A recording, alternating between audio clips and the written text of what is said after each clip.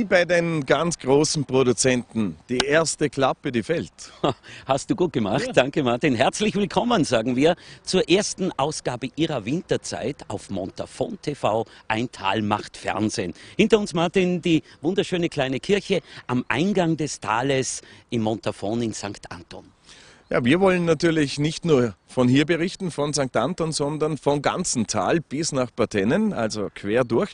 Und immer wenn sich was tut, werden wir in Zukunft äh, in der Winterzeit auch und auf Montafon TV von aktuellen Sport- oder Freizeitveranstaltungen berichten. Mhm, Sie sollten es keinesfalls versäumen, denn Sie können bei uns auch jede Menge gewinnen und Martin, wir gehen mit Ihnen gemeinsam auch shoppen. Das wird schön.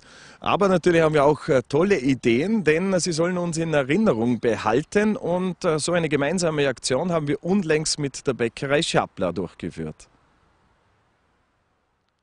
Was gibt es Feineres als um 6 Uhr in der Früh einen Kaffee? Man sagt ja hier beim äh, Bäcker Schappler im Ort, das ist der beste Kaffee von Schrunz. Dazu natürlich das feine Gebäck. Wir haben viele in der Früh überrascht. Die gemeinsame Aktion von Montafon TV und der Bäckerei Schappler. Und wie das Ganze abgelaufen ist, das schauen wir uns erst an.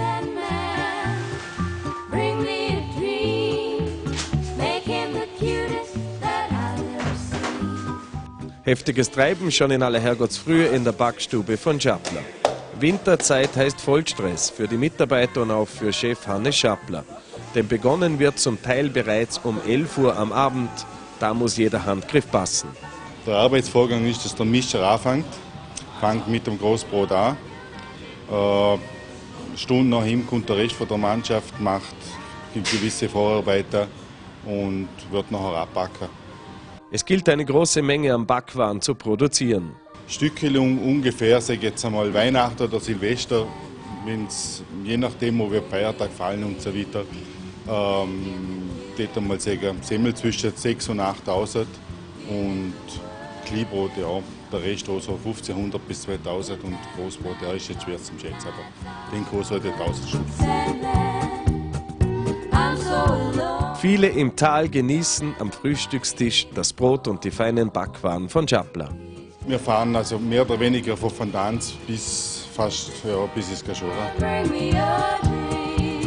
Sehr zur Freude von vielen haben wir um Weihnachten am Bahnhof in Schrunz Schüler und Frühaufsteher beschenkt.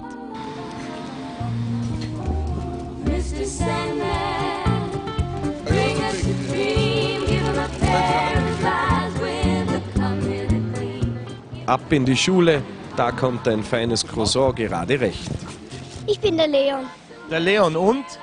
Die Emily. Emily, freust du dich auf Weihnachten? Ja. Man springt Christkind was. Ja. Wo kommt ihr Abe? Wo kommt ihr jetzt Abe? Sie geht in den Kindergarten, ich gehe in die Schule. Auch in der Mittelschule Schrunz, Dorf, herrschte große Freude.